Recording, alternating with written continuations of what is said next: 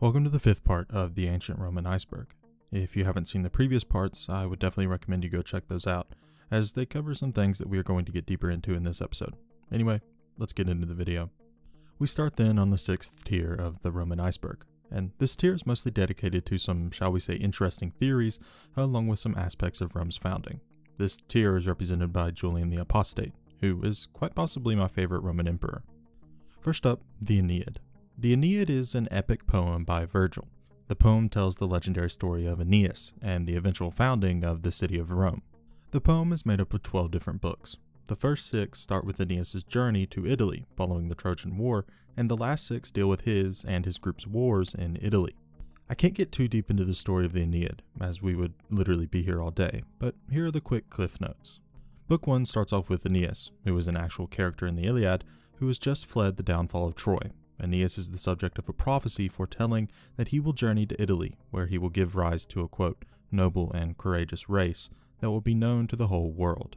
Aeneas sets off from Troy, following the Greek coast to Sicily and then eventually Carthage. Book 2 and 3 are mostly a retelling of the story of the Trojan War, which Aeneas is relaying to Dido, the queen of Carthage. It is essentially the story of Troy that we're all familiar with, just with the added bonus of the slain prince Hector and the goddess Venus, Aeneas' mother, appearing to Aeneas and telling him to flee the city before it can fall. Book 3 finishes with the tales of Aeneas' journey to Carthage.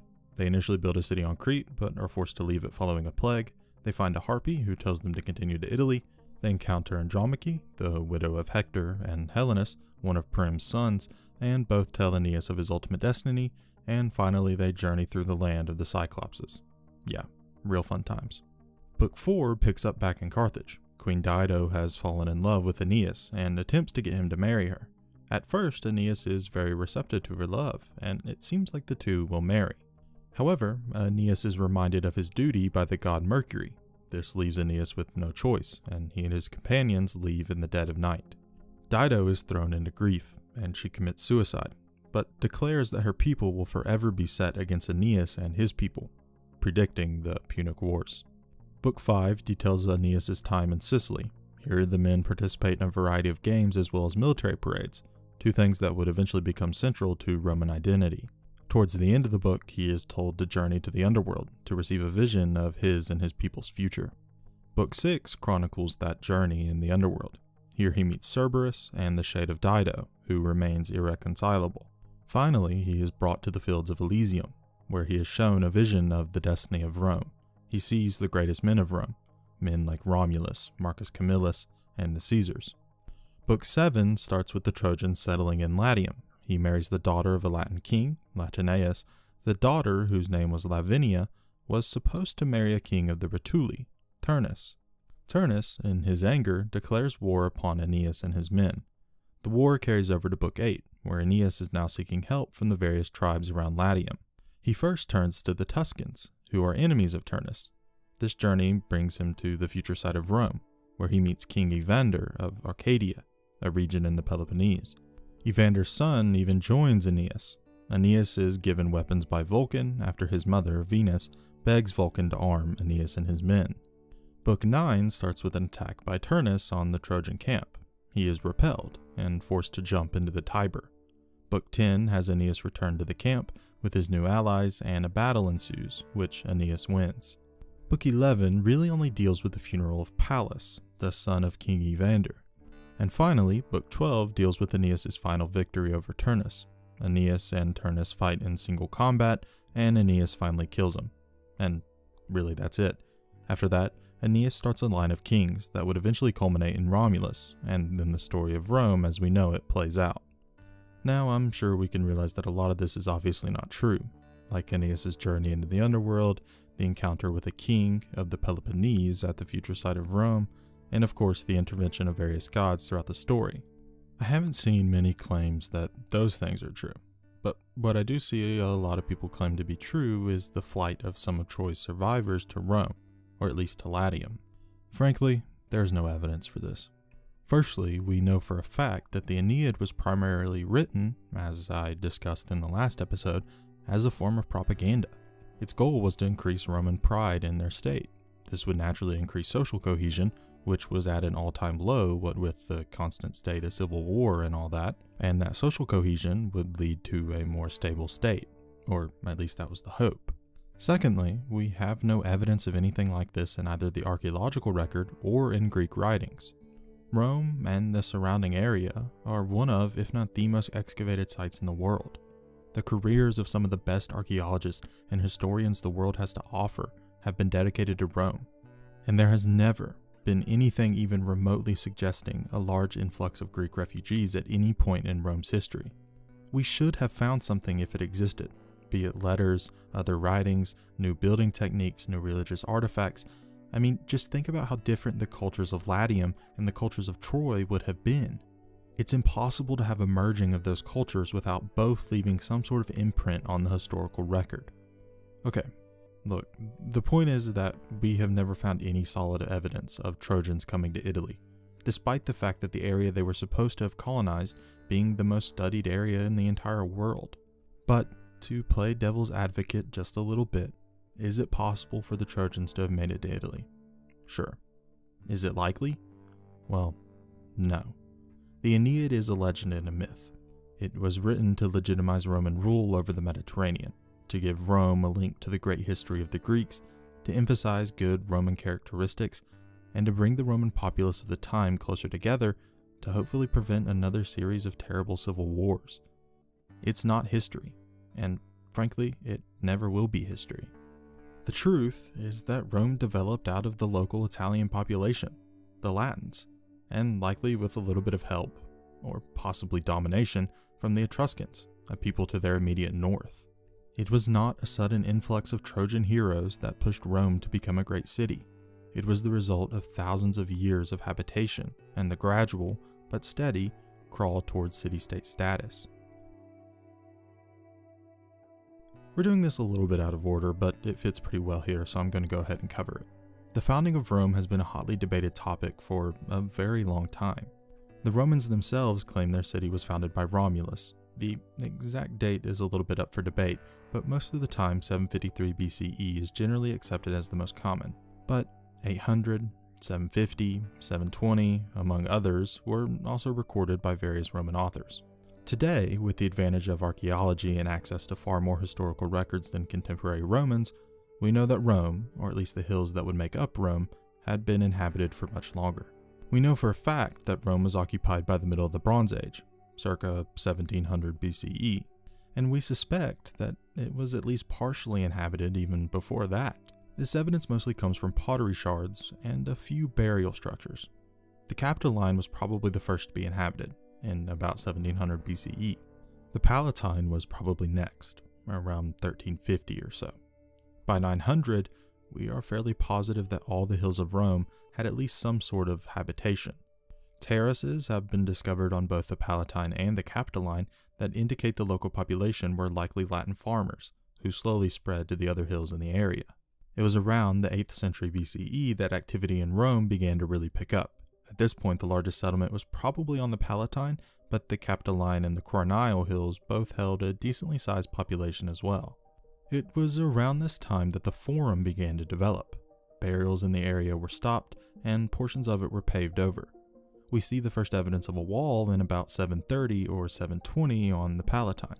It seems that at this point, the city of Rome had developed a true boundary. There were gates and streets, and overall, we see an increasing level of centralization something you would expect with a developing city state. By 600 BCE, Rome was almost certainly united. The clans that had occupied the hills in earlier centuries were now all intermingling, and the development of the Forum as a central meeting area, along with designated civic structures, points towards a system of government.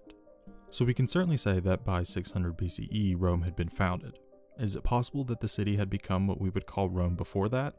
Sure. The truth of the founding of Rome is that it's complicated. It was not a sudden process.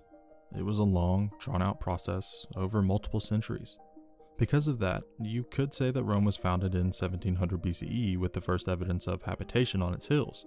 Or you could say it wasn't until about 600 BCE, when all the hills seemed to have united into one political entity, that Rome was truly founded. Frankly, we will likely never know for sure when Rome became Rome instead of just a loose collection of villages. But it did happen, and we will likely have to be content with just knowing that. The Legio IX Hispania, or more commonly known as the Ninth Spanish Legion, was a legion in the Roman army that has been lost to history. It's become something of a cultural icon, with novels, movies, and endless theories about what may have happened to the legion. But first, I should give you a quick overview of the known history of the legion, as it may help us try to figure out what exactly happened to bring about the disappearance of an entire legion.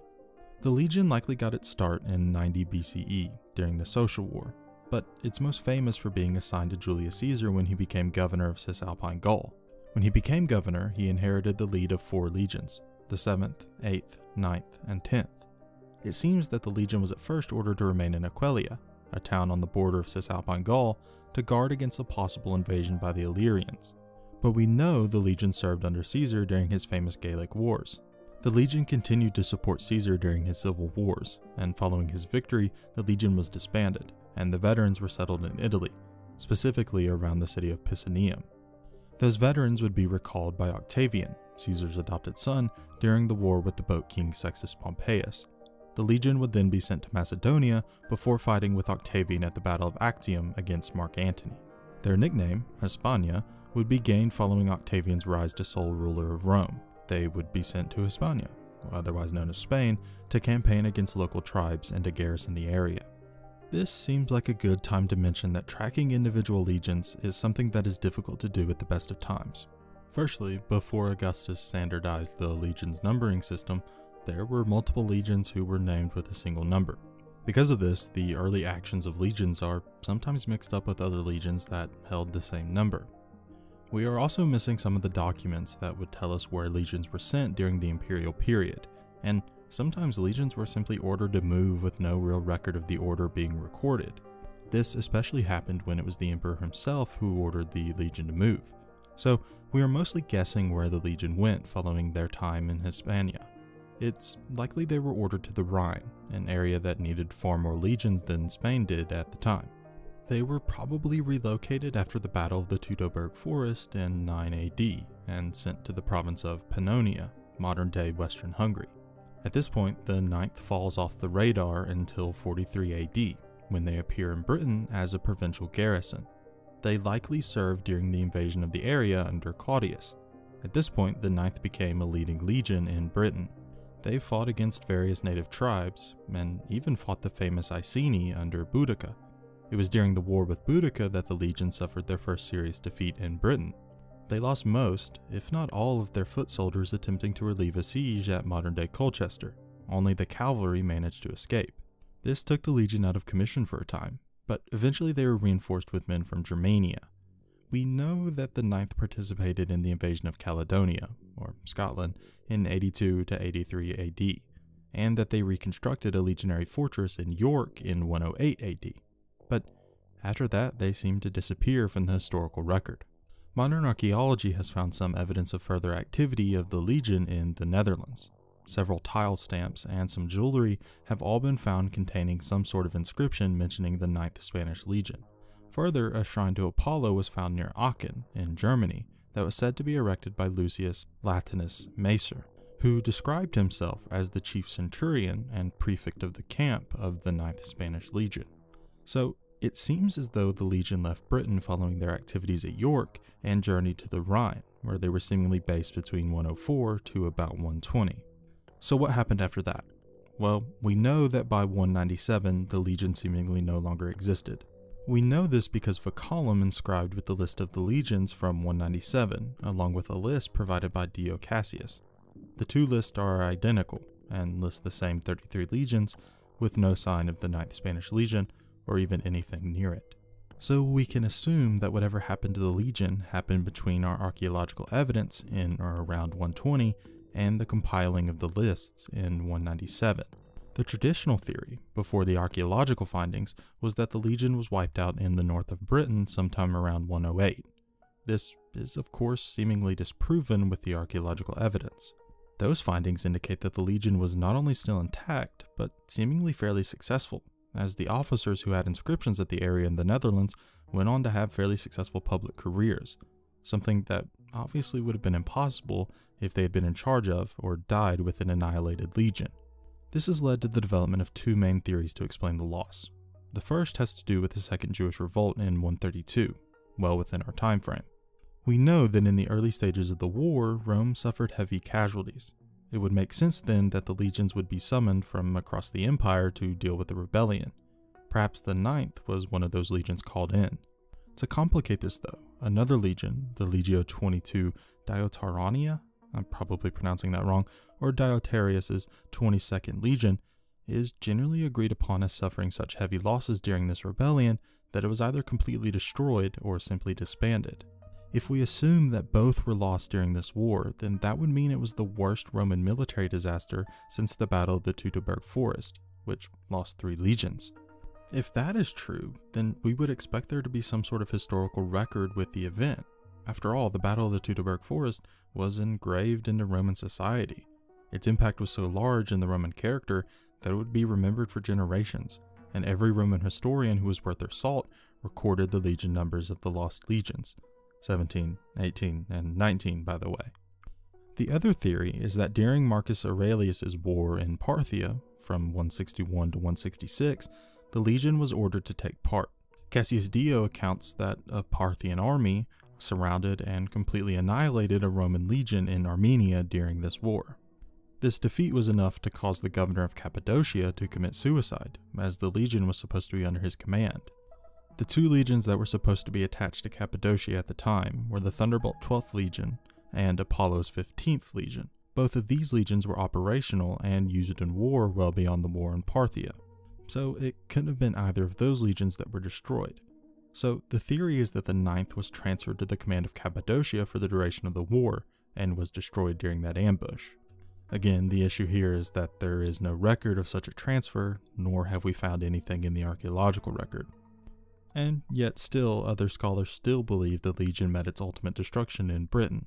This mostly relies on the fact that no record of the legions in the east has ever been found, and that the dating of the archaeological finds could be incorrect. So, in the end, we again have no idea what really happened to the Ninth Legion. We know that they were there in 108 and likely in 120, but by 197 they were gone. We likely will never know what exactly happened to them. But personally, I would probably put my stock in the Parthian theory. The archaeological findings in the Netherlands seems to prove that the army left Britain. I don't think the Jewish theory could be accurate, as losing two whole legions would have left a serious impact on Roman history and would have been something that would be well attested to. But we will probably never know for sure. The Battle of the Teutoburg Forest, or as it is less often known, the Varian disaster, is one of Rome's most humiliating defeats.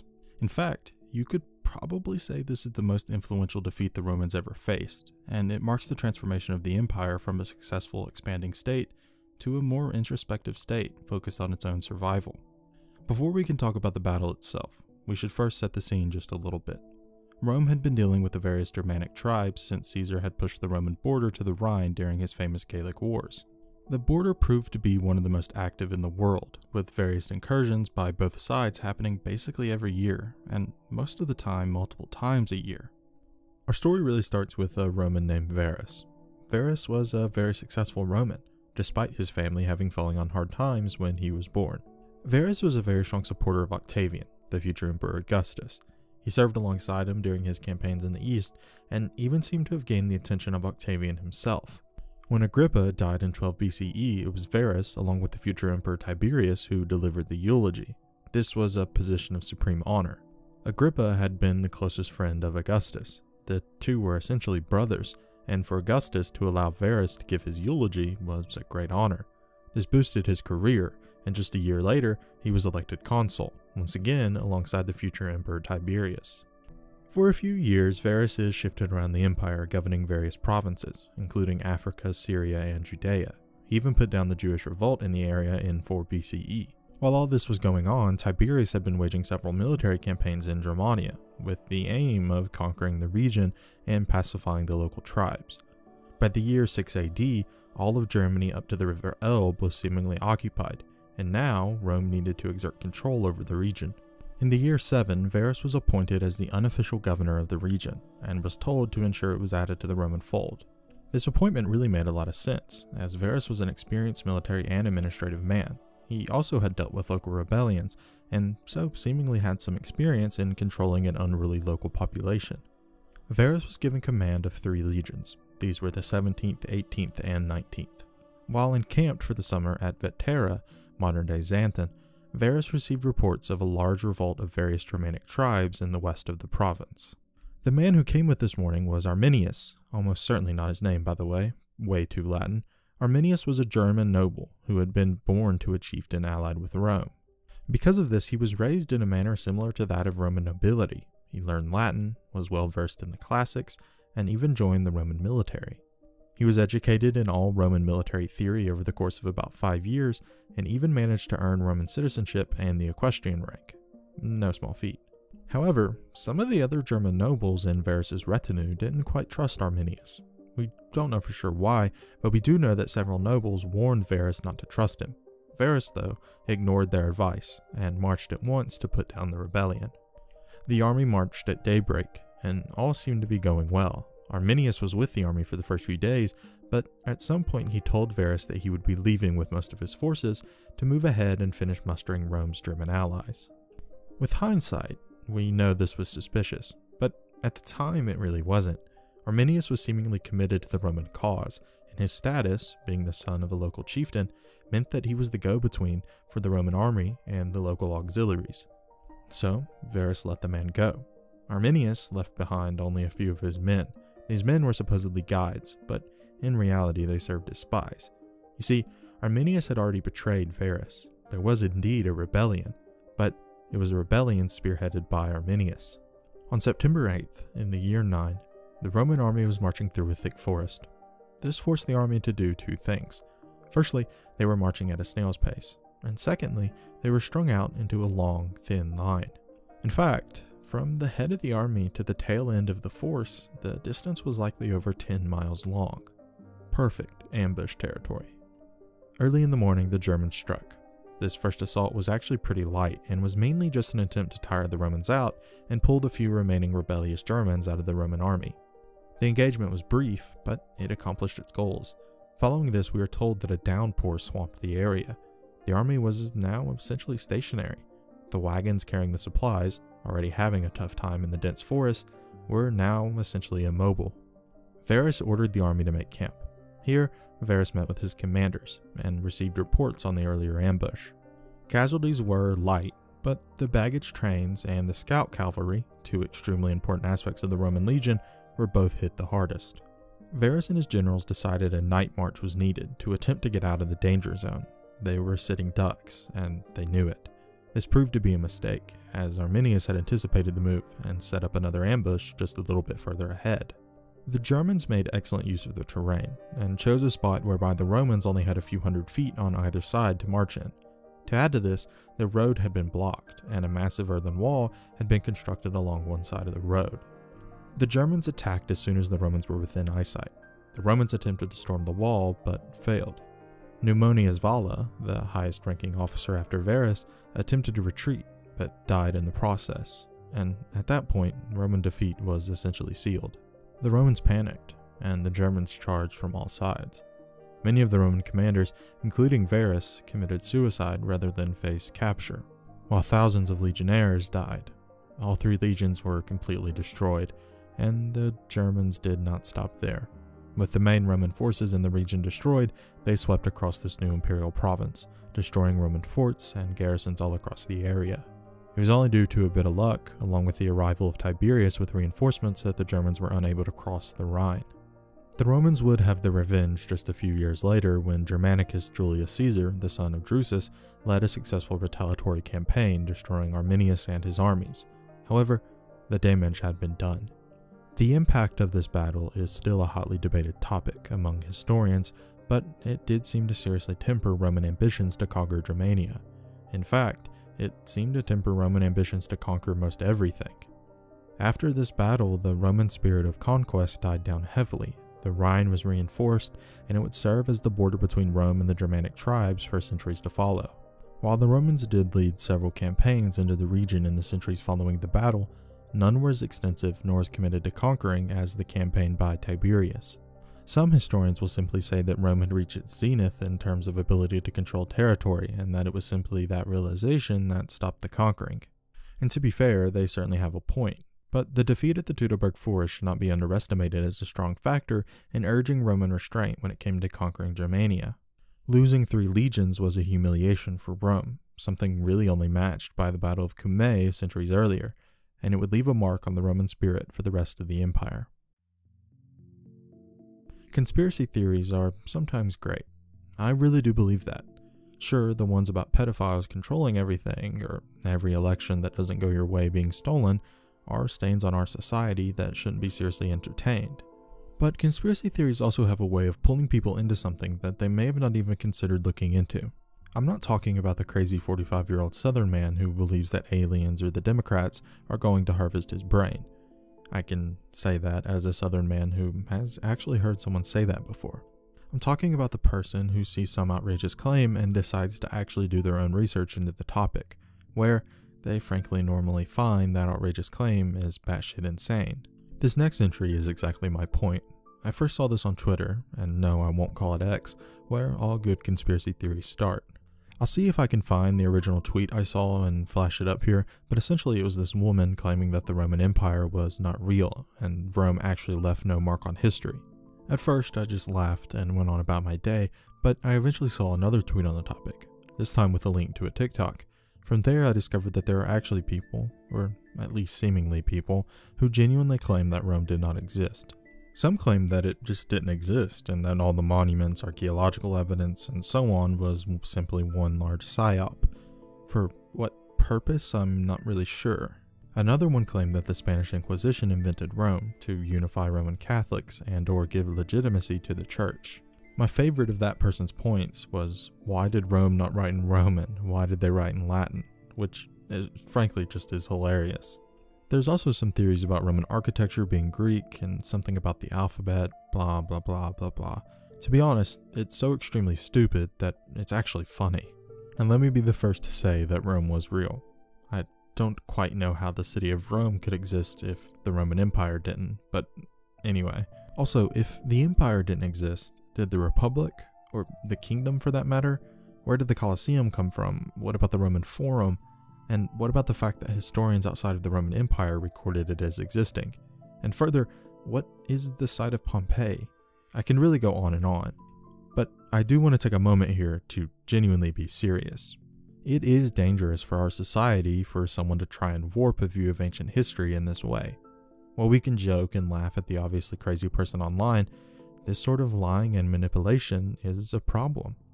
These people talk with such authority that it's easy for someone to be like, well, okay, maybe they are actually onto something. And that's dangerous. It is dangerous for people who are not educated to speak on things that they have, frankly, no qualification to speak on. It's the type of intellectual dishonesty that can lead to more serious consequences. While I doubt any violence will spawn from some random person on TikTok claiming that Rome didn't exist, this type of conspiracy theory can serve as a gateway into much more serious and much more dangerous conspiracies. Or this theory could easily spiral out of control and become that much more dangerous conspiracy. After all, if they, I guess meaning the government or whatever all powerful, all knowing organization is continuing to claim that the Roman Empire existed, can make up something so influential on society, then that naturally leads to a question of, well, what else is fake? What other aspects of culture, society, and government are simply constructs made to advance some secret agenda? It's that type of thinking that leads to the more dangerous territory. I'll leave a link to a great video on this subject by a great YouTuber, the Lady of the Library, down in the description. She is much more articulate than myself, and she does a great job of really ripping apart many of the claims by this TikToker, or whatever you call them. Damn, I'm getting old. So I want to leave this section off with this. Do not believe everything you hear on the internet. It's so incredibly easy to simply pick up a phone, record some stupid conspiracy theory, and gain a following on TikTok, YouTube, or any other social media app. You should never take one person's word as gospel, not even your resident idiot. Look at other sources, pick up a book, look in other corners of the internet.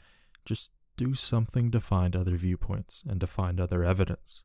The internet is one of, if not the greatest invention in the history of humankind. It has increased the overall level of human knowledge in a way that nothing else ever has. You have the sum of human knowledge at your fingertips. Don't waste that opportunity on crazy people on TikTok. Now to my favorite, and apparently fake if we are to believe that last entry, Roman Emperor. Julian the Apostate, Flavius Claudius Julianus, more famously known as Julian the Apostate due to his rejection of the Christian religion, was born in Constantinople. He was the half nephew of Constantine the Great. Julian was probably raised as a Christian. He very nearly met his end at a young age when his cousin, Constantius II, led a massacre of most of the living male descendants of Constantine. He did this to secure his power, and by the end of the massacre, only Constantius, his brothers Constantine II and Constans, Julian, and Julian's half brother Constantius Gallus were left standing. Julian and his half brother were probably only spared because they were simply too young to be a threat. Julian was around six years old, and Constantius was about 11. Both were kept under strict guard, and mostly kept from public view after the massacre. Julian would be raised in Asia Minor in a sort of semi exile. He was educated by various bishops and seems to have truly been a Christian. It was only when he turned 20 that he began to embrace the old Roman religion. We don't really have much sourcing for this time in his life, but whatever happened, he himself states that, quote, he had spent 20 years in the way of Christianity and 12 in the true way, meaning traditional Roman religion. In 354, Julian was recalled to the court of Constantius II, the last remaining emperor. Constantine II had died in 340, Constans in 350, and Constantius Gallus had been executed in 354, after very briefly ruling as Caesar of the East. Constantius's court was in Mediolanum, modern-day Milan, and for two years Julian was kept under watch to ensure that he was loyal and not going to rebel against Constantius.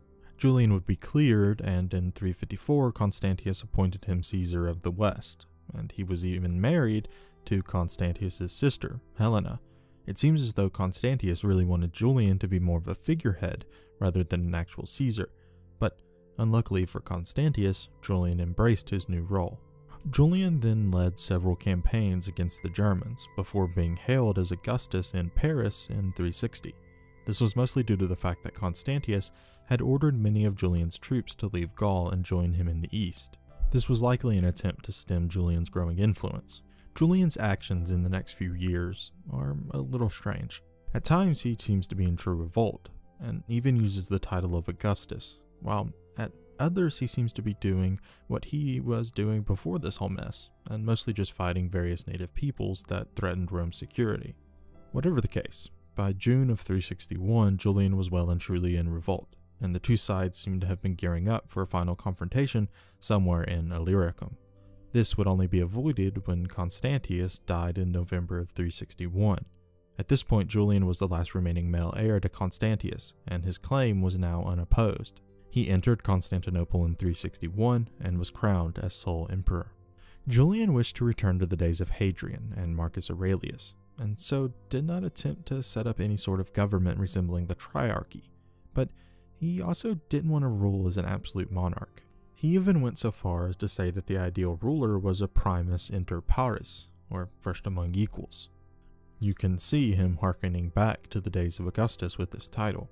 Julian even debated laws and policies in the Senate of Constantinople, and even sat among the Senate during these sessions. Julian also believed the empire needed to be decentralized. He gave more powers to cities by returning the control of city land to local authorities, instituting new city councils who held civic authority, and made tribute given to the state voluntary.